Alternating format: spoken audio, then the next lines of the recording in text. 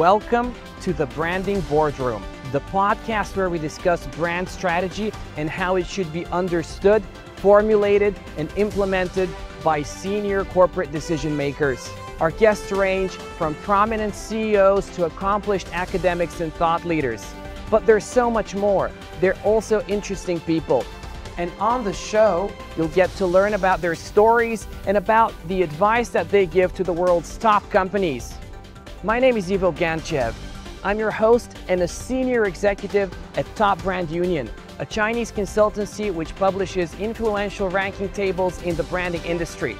We also organize the annual China Brand Festival, and this year it's taking place right here in Changsha, where our secretariat is located. Now follow me into the branding boardroom.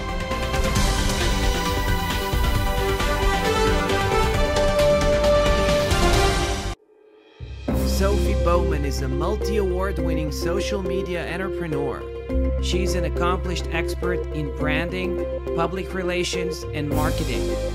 Sophie is a Forbes Council member and the founder of several companies, including Brand Branding and ConvertYourFollowers.com. In addition to her previous accolades, in 2022 she was named Entrepreneur of the Year at the American Business Awards, receiving a Gold Stevie Business Award. Sophie's clients include global superstars such as Kanye West and John Legend, as well as established companies such as Saatchi and Saatchi. Sophie has also managed branding campaigns for some of the most well known global events, such as London Fashion Week and the 2012 Olympic Games. She has recently been named as one of nine inspirational women to watch by Yahoo News. Sophie has lectured at Miami Ad School and she has authored the authoritative book, How to Convert Your Social Media Followers to Customers. She's a highly sought public speaker and has VIP speaker status at the Wall Street Conference. Sophie has been widely covered by various media outlets such as Success Magazine, Lifestyle Magazine, and Business Insider.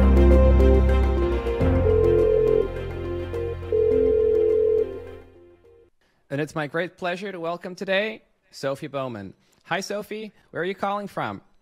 Hi, guys. I'm calling from Miami today. Well, it's a great pleasure to have you on our podcast. Thank you for having me. Of course. Uh, we're uh, most honored to have you here. So, we've, uh, of course, uh, spoken about your previous achievements at the beginning of the podcast, and uh, you've been tremendously successful. You've built a great reputation and a considerable following within the industry. So, there's a lot to talk about today, and I'm sure that our viewers are really excited about this episode. But uh, before we get into it, let's start by telling your story to our audience. How did you get to where you are today? What was your early career like, and uh, where did your passion for business come from in the first place? I love that question. So, my background is interesting in the sense of um, I very much had a Richard Branson mentality to just say yes to every opportunity that came along, figure it out along the way, which obviously comes with a lot of stories horror stories, funny stories, but success stories because I really believe that was like the driving force behind, you know, my career becoming successful is just ha- going for so many different opportunities that it's like law of probability, you know? You have to get something. If you're kicking on 20 doors, you're going to get at least 5. So, I think with that mentality, you know, I was working as a teacher in London and it was working with special needs children, something I always loved. But when they decided to, you know, change the law and um, everything else around education, I was like, okay, it's now or, or now or never. I have to get out. It's kind of like sink or swim. I don't want to teach for the rest of my life. I want to do something amazing, and that's around that time I'd kind of fallen in love with business. You know, I had my own side hustle selling, you know, creative writing, copywriting, um, marketing, digital marketing, social media. So I was already kind of doing all this, um, you know, side hustle stuff. But turning 30 was, you know, a really big kind of milestone. So I think I had a little bit of an early midlife crisis. And, um, you know, I just decided to quit my job and make my side hustle a kind of creative agency and relocated to Morocco for two years just because I wanted to travel as well. So I just decided to do everything at once. Um, then around six years ago, I came to Miami, and uh, I think that was the real power move for me. Um, coming to America, being you know European, you have that bonus of knowing a, a lot of different uh, markets. And luckily for me, you know, having sold all of these different services, I had clients all over the world. So I've been lucky enough to, you know, work with clients in Asia and work with clients uh, US or, you know, from Paris. So that's been a lot of like building that network has been, um, you know, the second kind of power move to success. And then, you know, global domination next step. Honestly so i've always been kind of a little bit boho at heart you know like free spirit traveler. But i also when i came to miami i had it in mind that you know i really wanted to set up roots and kind of build a foundation like have a home for the first time really ever. Because to me you know rental property is not home. You feel like you're constantly living out of a suitcase kind of.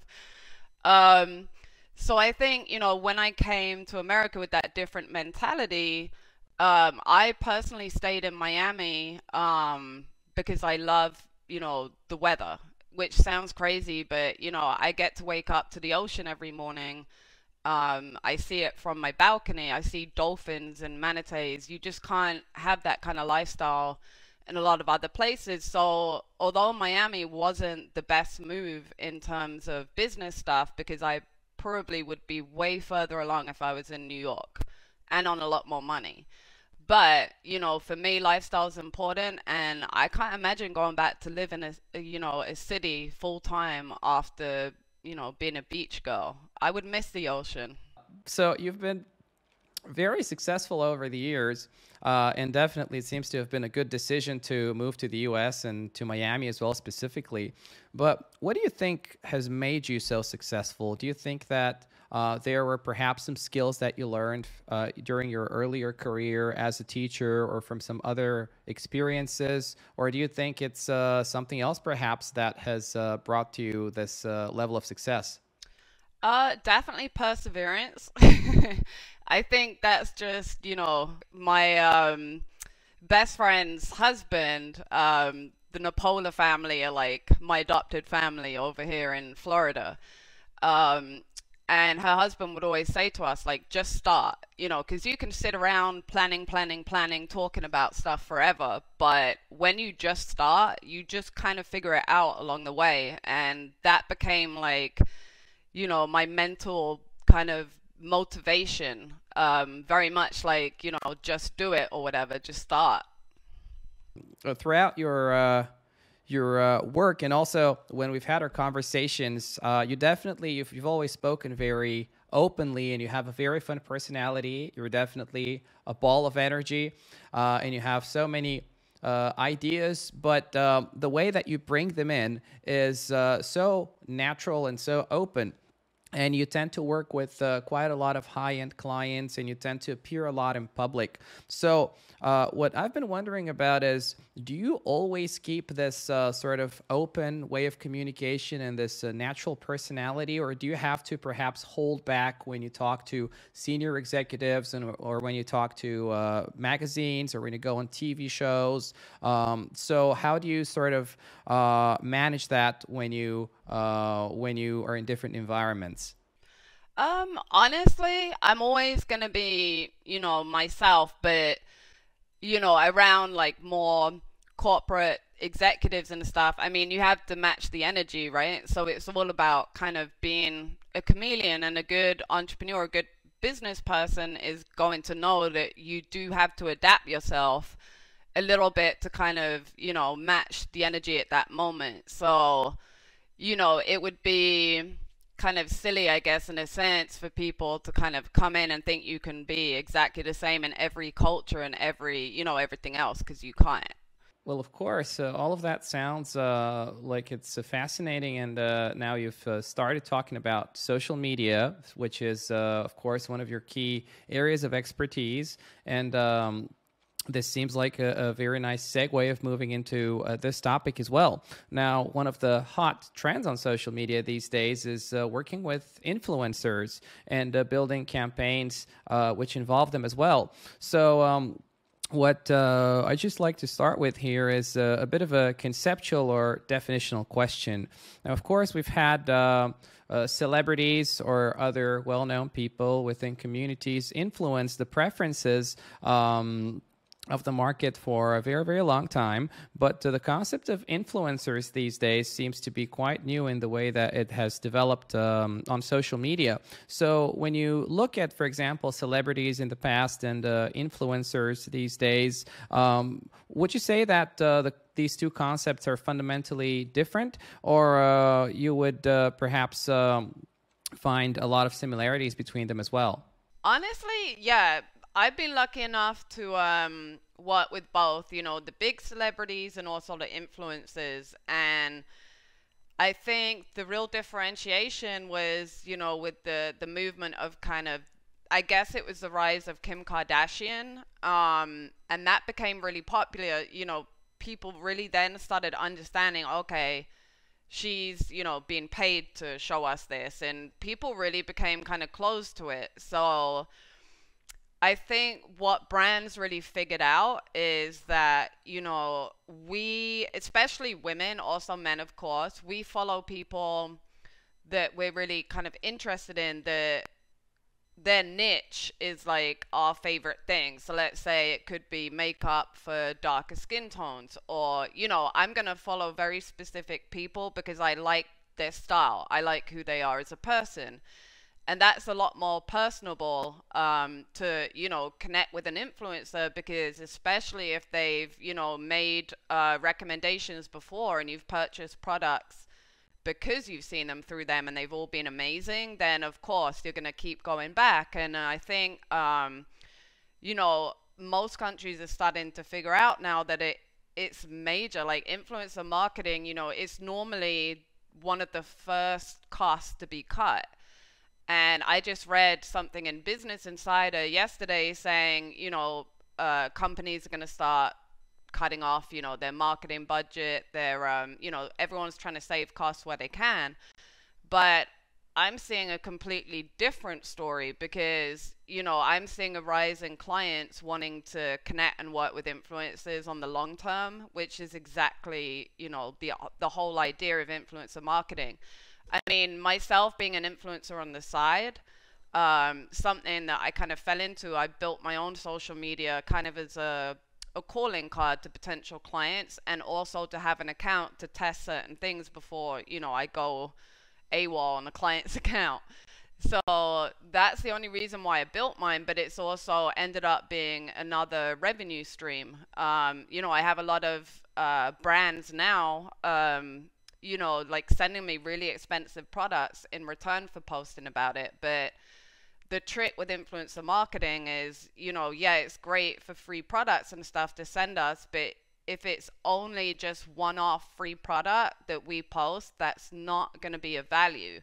You know, there's a reason why certain brands have been very successful, like um, Fashion Nova is a great example of, you know, very aggressive marketing and they know the clientele. Um, and they built the brand pretty much purely on influencer marketing. Um, so, you know, it's still very, very powerful and, you know, something that when I come over to China next year, I'm sure we're going to end up doing some kind of workshop on that because influencer marketing is not going anywhere. And with the recession about to hit, you know, the entire globe in this post COVID mayhem, it's definitely going to be something that you know, people are going to have to get into influencer marketing because it's the only cost effective way to reach a certain number of people online. Definitely. It doesn't seem like it's a trend that's going away anytime soon. And um, of course, it's something that companies have to think about. Now, you're very experienced in terms of working with uh, influencers and uh, perhaps uh, co creating campaigns as well together as well. But in order to um, do this successfully, of course, you have to get influencers uh, who are actually uh, appropriate in terms of uh, matching well with the brand. And you want to get um, influencers uh, that are the best fit for a particular company. So, the question here is how do you do this? How do you get their attention in the first place? How do you get your uh, message opened? How do you select the right influencers? Um, and uh, how do you approach them about a collaboration? So that's a really good question because I think sometimes, you know, being on both sides of the fence, being an influencer and a brand person, you know, I see all the mistakes. So, first of all, you have to have a really strong brand. You know, like if I see a message from you and go check out your Instagram page, I need to see activity. I need to understand immediately from your feed what you do. Your bio has to tell me, you know, what you do and why you're reaching out to me. It just has to click. Um, one little trick that I used to use when I was trying to find influencers for a brand is, you know, first off, you want to find influencers that share that niche. So let's say, for example, I'm working with a cosmetic brand then I only really want to deal with makeup artists and beauty influencers. Um, and sometimes you can go a little outside of that scope um, if someone's more of a lifestyle influencer, but they have a very good local following. Um, but I think it's best to start, you know, maybe go on Instagram and search certain hashtags. Let's say you're a, you know, we'll just stay with the cosmetics brand. Um, you have a beauty brand in China, then you would want to go through, you know, beauty influences and then make it very specific. Uh, make it local influences if you're a local business. If you're kind of global platform, then you're in a better position because you can use all types of influences from all over the world. You know, a very good example of that again is Fashion Nova. Um, but the most ideal thing, really, like once you have everything with your brand, you know, very concise and strong, you can then reach out, you know, maybe by direct message and say, you know, you have to address me. Sorry, I just thought of another really important tip. Um, always, always, always, when you message uh, an influencer, if you're going to direct message them on Instagram, whatever, make sure you start the message with hi, their first name because if you don't do that, then it's immediately obvious to me that um, you know you're just spamming. You're just going through. You're not really taking the time to find influencers. And as an influencer, that's a you know an immediate red flag because if you're just taking anyone and everyone, like that's just you know it's going to be messy, and I don't want to be seen to support a messy brand. You know, so that's kind of the most important step, you know, look at your social media. Is it obvious to a potential client as soon as they hit on your page? Are they going to understand what you're selling, what you do within three seconds? Um, once you have that set up, then you can have, you know, a template for a message you send to influencers, you know, like, Hi, Sophie. Um, you know, we've been following you and we love your branded posts. We would love to discuss, you know, a collaboration with you. If you're interested, you know, please fill out this link, um, availability, and let's schedule time to talk. Keep it very simple. You know, don't send a very long, long, long, long message. No one's going to read it. Just get the, you know, I'm very much a fan of short and sweet. Just get directly to the point ask them what they want, you know, ask for their media card. That way it kind of shows what you're, you know, what you're doing. And you'll also get insights from that. You know, how many followers do they have? Where are their followers? Because that makes a big difference if you're a global brand or a local brand.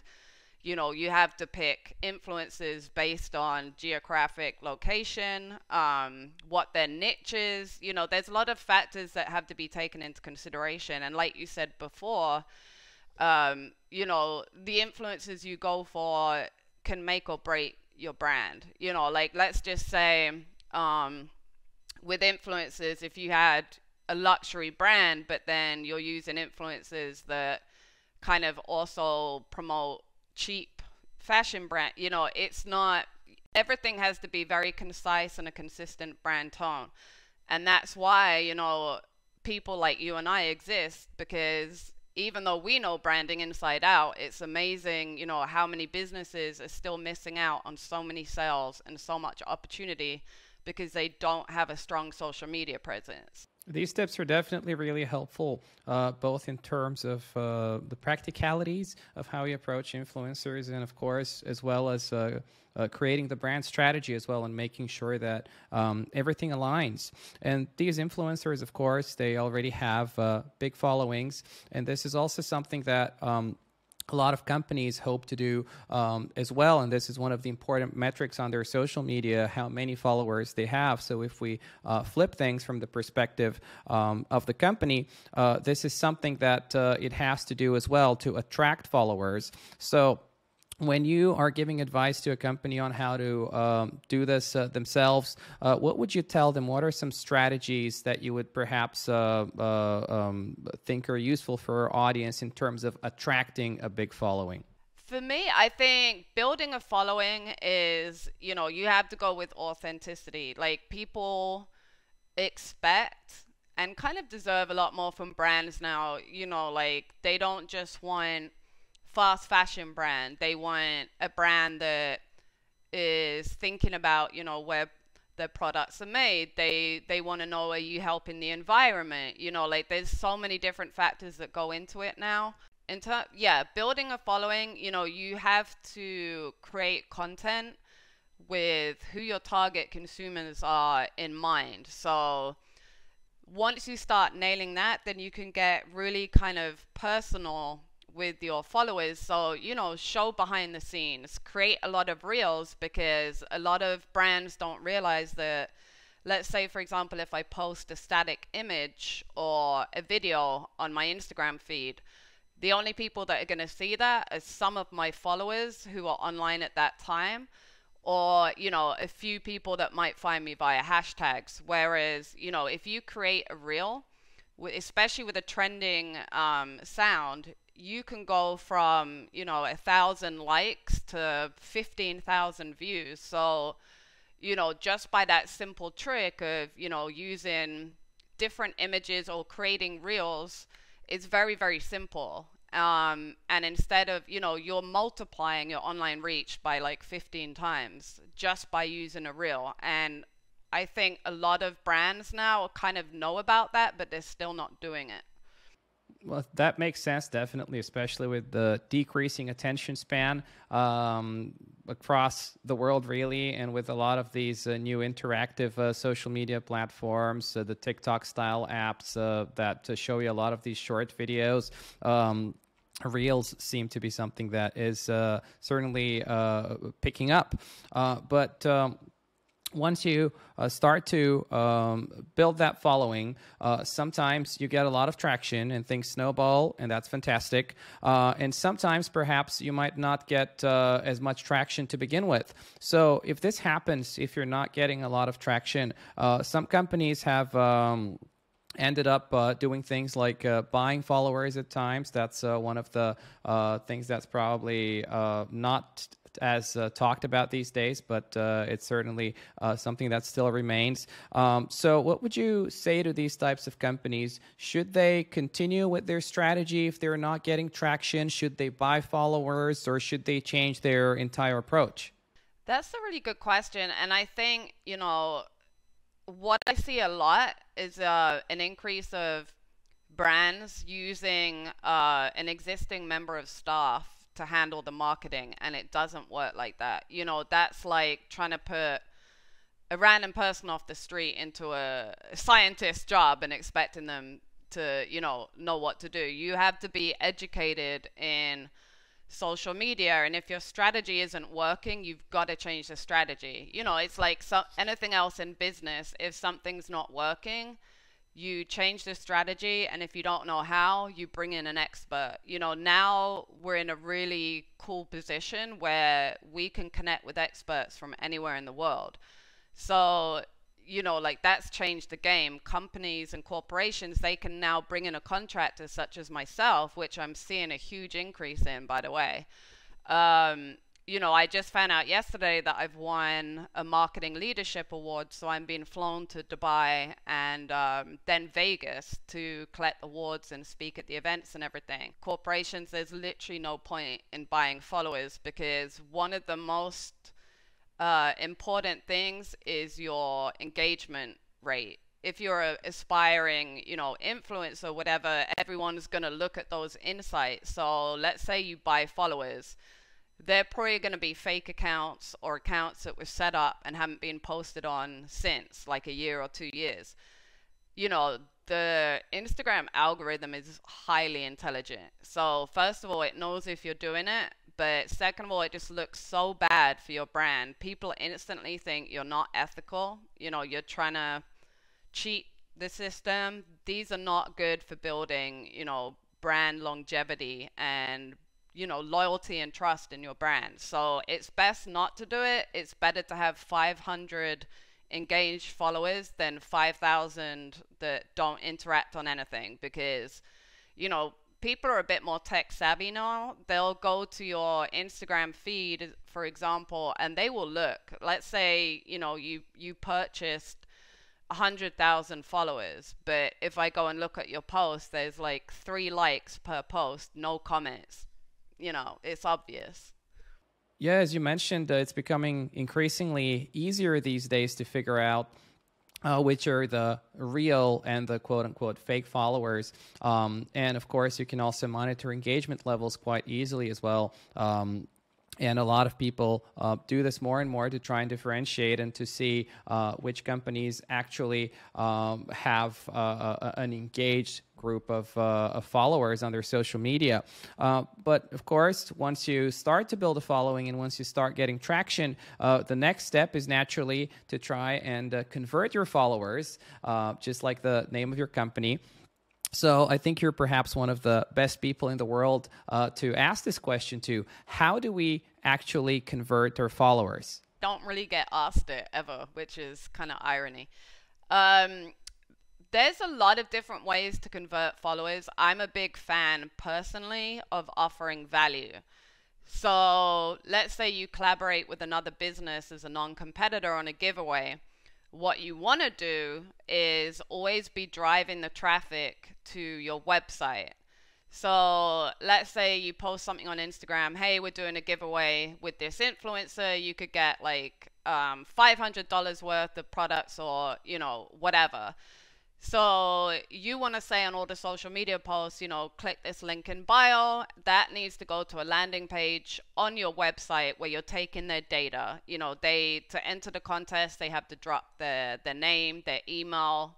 Um, if you can get more information from them, even better, like their city, gender, you know, all of this kind of stuff. Um, and what you do by the, you know, by just driving that traffic, you now have, you're going to have a database of emails. So once you retarget these, you know, new email users, you can multiply your sales very, very quickly because, you know, obviously with the giveaway, you are going to get some people that are just there for the free stuff, but you're also going to get people that, uh, you know, if you target your ad correctly behind it, you're going to get people that are genuinely interested in your type of business, you know, your type of product or service, whatever it is you sell. So once you have that information and you send them an email, let's say a few days or a week, two weeks, whatever later, you say, kind of, this product you were looking at, it's now 50% off.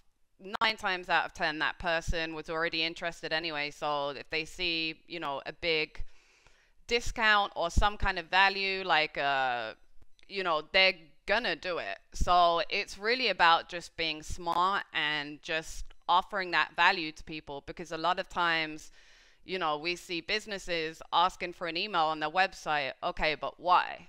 You know, why should I give you my email? I already get like 100, 200 um, spam emails a day. So you have to offer that value. Um, it doesn't necessarily have to be a giveaway. It can also be, um, you know, they go to your landing page and they download a free ebook that's relevant to your business. I mean, whatever it is, just offer value and people will come. Of course, this is something that um, also uh, makes the engagement worthwhile uh, for the people that are visiting your website or uh, following your social media uh, accounts as well.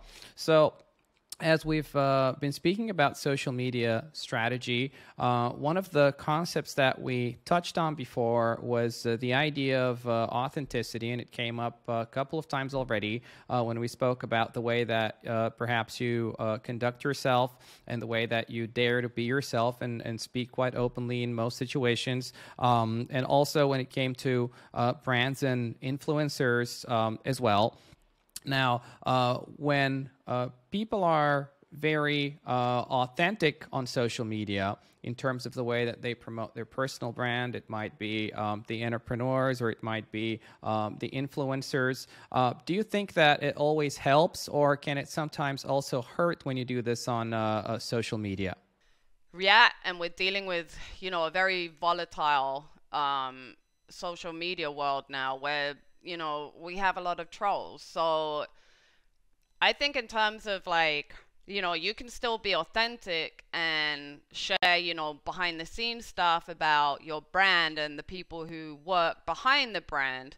You can do all of that, but I think it's just a general good tip to stay away from really the the conversations that really start, you know, a lot of trouble, and that would be like religion, um, that's a definite one to stay away from or politics, you know, anything like that, because it is so volatile. You don't, you know, you just there's no need to talk about it unless your products or services are, you know, relevant to that, which most aren't. So I think that's the easiest way. I mean, you know, there's a lot of it is common sense, but a lot of it is also being respectful of other cultures. So that's why we're living in a really good time now where you know we can work with professionals from anywhere in the world for the most part you know we can all do it remote or hybrid um, which is now a better situation because now we have teams from all over the world so we know if something's offensive um, you know in one culture and not another. And all of these things are really important to know especially if you're aligning yourself to have a global brand.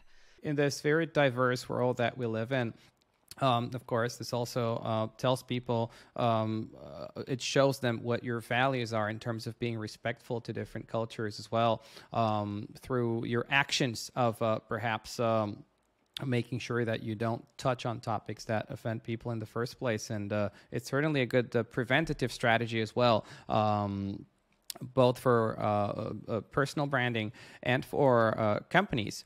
Um, now, when you build um, your own brand or as a, as a well-known person, celebrity or influencer, um, there is a, a, little bit of an intuitive um, aspect to being authentic. You could just film yourself behind the scenes or at home and this way you're you're uh, letting people sort of peek into uh, your life or into something that they wouldn't normally see but when it comes to brands, if you're building a corporate brand, um, what makes it authentic? Um, can you engineer authenticity and an authentic campaign for a brand, or does it come from the fact that the product or the company represents something that was there in the first place? Uh, what's your take on the way that you would build authenticity from the perspective of a, a, a corporate brand?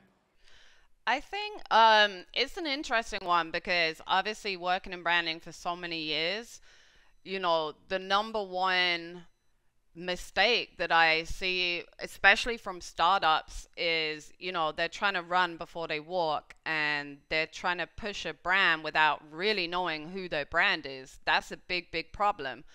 Um, you know, I used the example before of convertyourfollowers.com purely, you know, I created that because it says what it is. It's not complicated. And there was, you know, minimal copy and everything on the website. It is what it is. You know, either you want to convert your followers or you don't. Do you want to make more money or do you not? it's that simple. So, you know, before people try and get into the, you know, the authenticity in the story, you know, all of that will come once you have a really powerful brand blueprint. And by that, you know, I've always gone one step further. If you have a brand strategy, you know, if you don't have someone that can do that in house, you can go on websites like People Per Hour, you know, find people like me or like yourself, and um, you know, create that brand voice for you, that whole brand tone. Because until you have that, like all of your efforts are going to be futile because you know people aren't going to look at you and know immediately what you do, what you're selling, and they're just you know people can feel it. You know, it's like an energy thing. If you don't know who you are, we don't know who you are. So everything has to start with branding. I think that you're completely right in saying that um, people, consumers, and I guess you could say the market as well is actually uh, quite smart. It almost operates like a, a collective brain in a way. Um, but markets are also very flooded these days, whether it comes to um, a market for buying certain products or uh, the events that get organized on a daily basis, or even the influencer scene, uh, where you have uh, every other 16 year old kid in Los Angeles uh, trying to become an online uh, social media influencer. So, of course, if you're authentic and if you have a very uh, well defined and projected brand message, uh, it's easy to see how you differentiate yourself. But apart from this, or in addition to this, what else can you do to stand out from the crowd, to set yourself apart uh, from the others within your uh, field? I think for people to separate themselves from the competition, um, you know, you, you want to be yourself. Like, you want to people are very much right now they want to see that personal um, connection so you know you might have noticed we're seeing a big change and all of a sudden there's all these documentaries about like get to know the real jennifer lopez or you know all of this other stuff because right now that's trending you know if you have a factory that makes products, for example, um, a fashion brand, you know, then you want to show it being made. So there's a lot of ways that you can um, you know, separate yourself if you're in a very crowded market, which to be honest, everything is now. True, true, that's true. And uh, these are uh, some very practical tips as well that a lot of our uh, listeners and viewers could probably uh, simply uh, implement directly into their business. Um, but a lot of them um, are also international companies. And when you're running a social media campaign and you're an international company, you usually have an international um, audience as well. So, when you think about building a national following or reaching uh, um, towards a national market uh, versus an international one, do you think that there is any differentiation in terms of the way that you should approach this, your social media campaign, uh, and your message as well?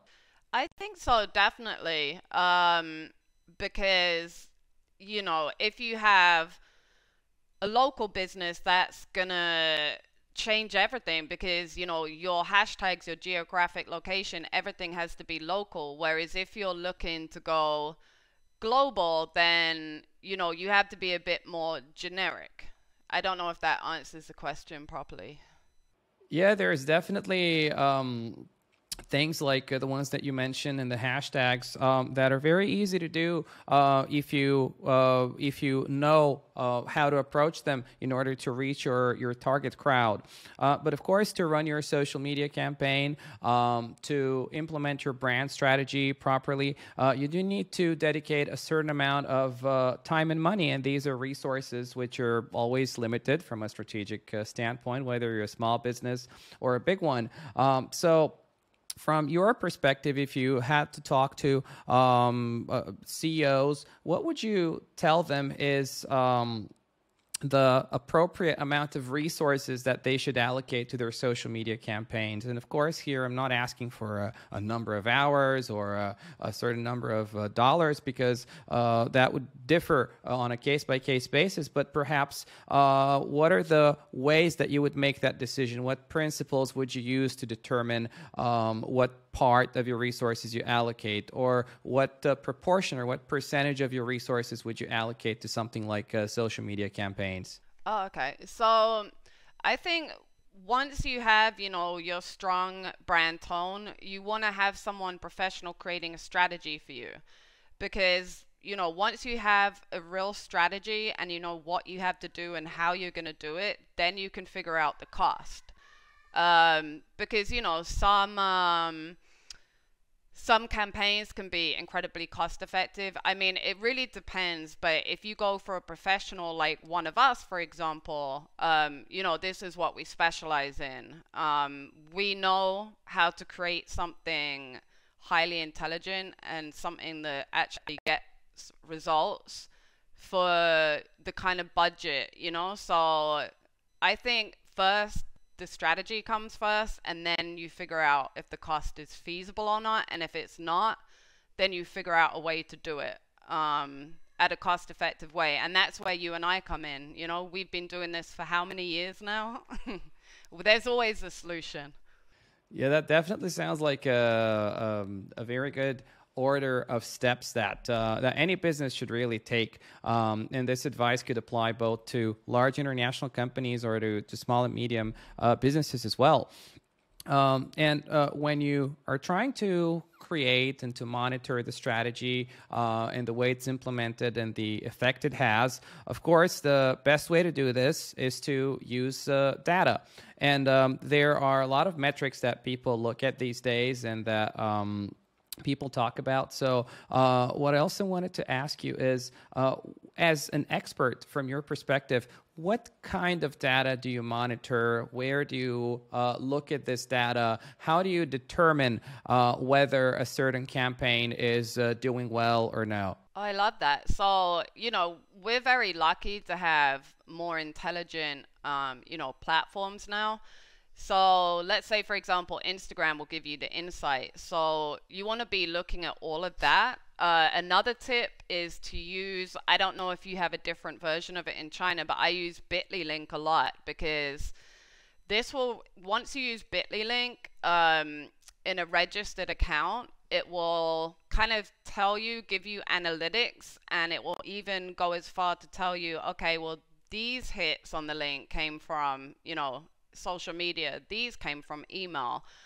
Yeah, definitely. This uh, is uh, quite a comprehensive approach that might be perhaps uh, a little costly or it might take some time to begin with, but it's going to save you a lot of cost and a lot of trouble over the long term because you're going to be able to uh, monitor. Um, why things are sometimes working out better and sometimes not working out as well once you have um, a, a, larger data set and not just uh, perhaps just some basic information on the number of uh, likes or comments or things like that.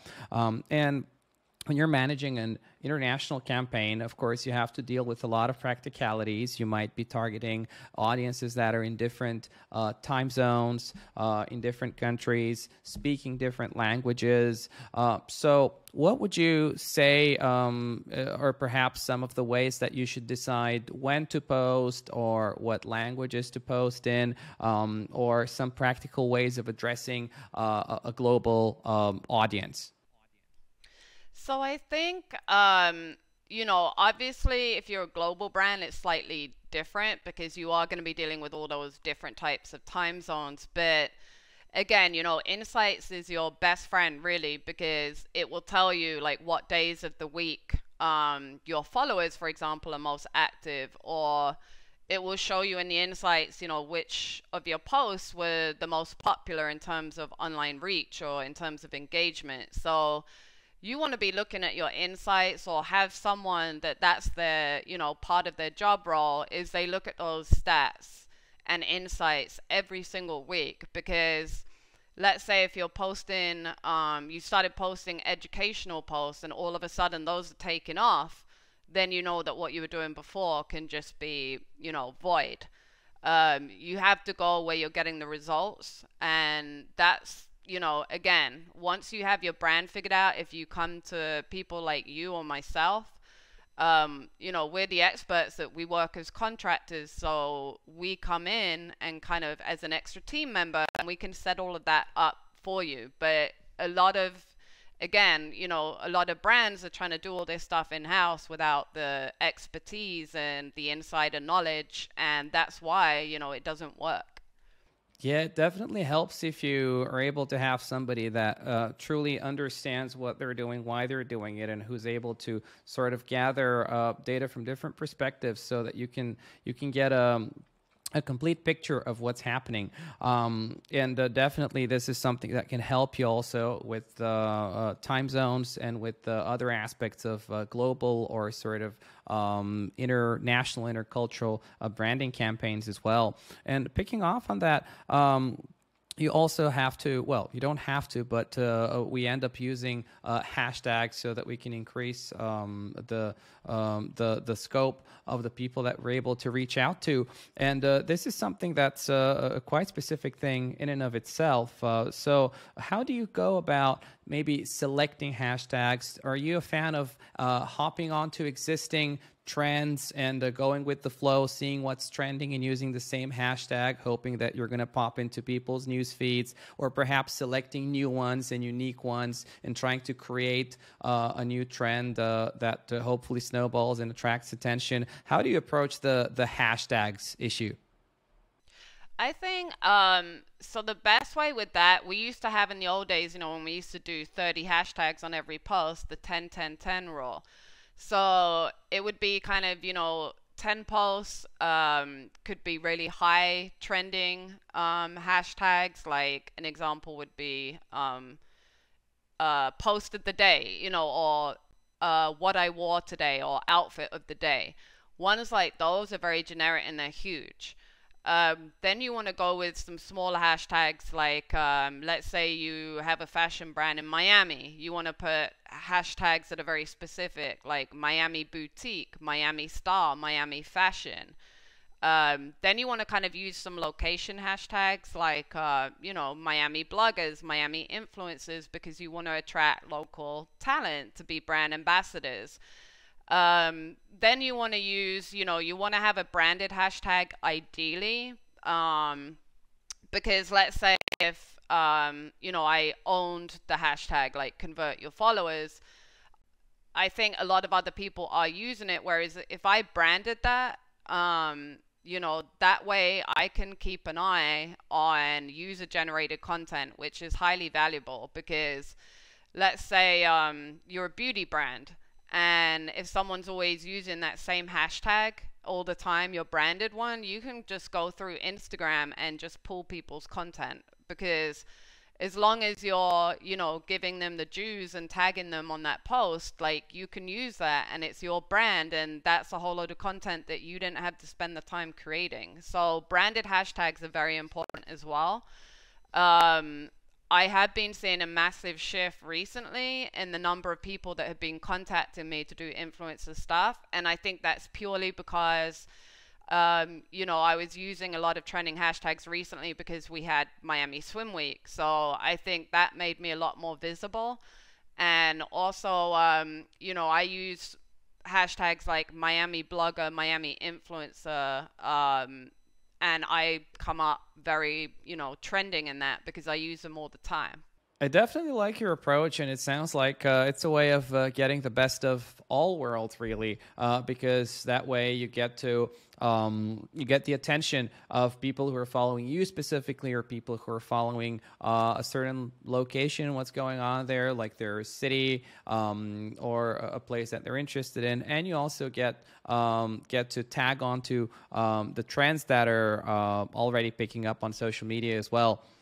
Now, as we're moving towards the uh, end of our conversation, uh, I think there are a couple of uh, quick questions that uh, I would ask to I would like to ask you as well um, that might be of interest to our audience. And the first one is um, when we speak about uh, social media, uh, launching campaigns, and the way that it fits into a business strategy, are there any misconceptions um, when it comes to these things? Um, yeah, I think one of the main misconceptions is thinking that you can plan to do a viral video. I mean, obviously, you know, a thought goes behind these things, but I think now we're seeing a movement of, you know, people don't respond so well to like narcissist characters, and the same is going to happen with brands. You know, we want to see that you're more than a brand, we want to see what you're passionate about. You know, like, let's say, for example, um, I have a fashion line. Well,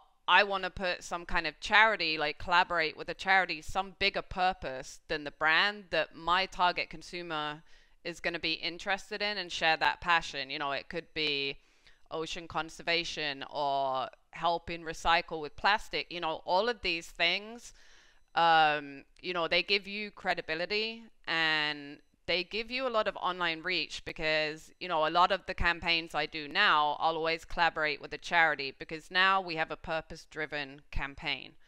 And that is the big difference you know a lot of people think that you just create a video and oh it will go viral. No. Um, but if you're doing collaboration and you're adding purpose then yes it's much more likely to be you know go viral and be seen on a global scale and this seems to be something that also um, has to do with a broader trend in society as well. There's a lot of people who are looking for meaning, looking for purpose um, in terms of their life and their career as well. Um, so this is definitely a very timely advice, and you've given us so many wonderful tips today, Sophie. Um, so um, if you had one minute of the time of all of the global CEOs, and you could tell them something really important that you'd like them to know or you'd like them to hear, what would your message be for them? It would be first things first, don't do anything, repeat anything until your brand is very, very clear on exactly what you do and who you sell to.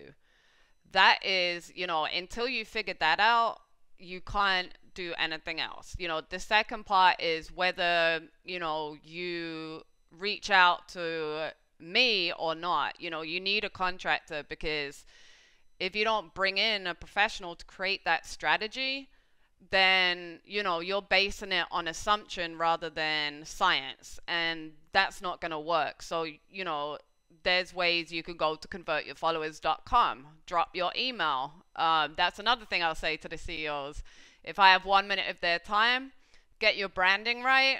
Take note of my website in case you need to ask questions, and then um, give me your emails because then I can sell them on something. well, these are most wonderful and most important uh, tips, of course, for all of the business community.